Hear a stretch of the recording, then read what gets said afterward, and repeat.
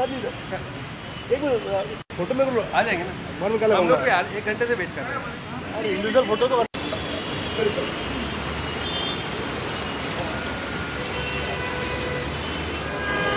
तो मध्य प्रदेश मध्य प्रदेश हमारा एक इतना म्यूज़िकल प्रांत है ये क्योंकि मियाँ तानसेन यहीं पैदा हुए ग्वालियर में पैदा हुए और बड़े बड़े म्यूजिशंस ग्वालियर में पैदा हुए।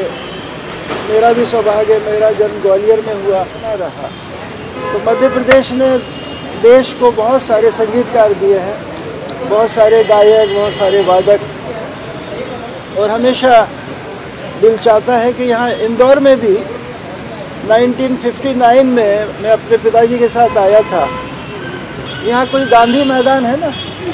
तो वहाँ फेस्टिवल होता था, गांधी हॉल हो गया। पहले मैदान था वो बहुत बड़ा। तो एक बहुत बड़े गायक थे, पंडित ओमकार नाथ ठाकुर। उन्होंने मुझे मेडल दिया था। और मैं भी बजाया था 1959 में। तो बहुत सारी यादें हैं। खैरागढ़ की, भोपाल की, ग्वालियर की, इंदौर की।